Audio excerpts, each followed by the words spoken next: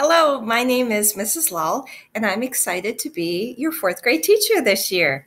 I've created this slideshow about more specifics about fourth grade, but on this page, just going to share about myself.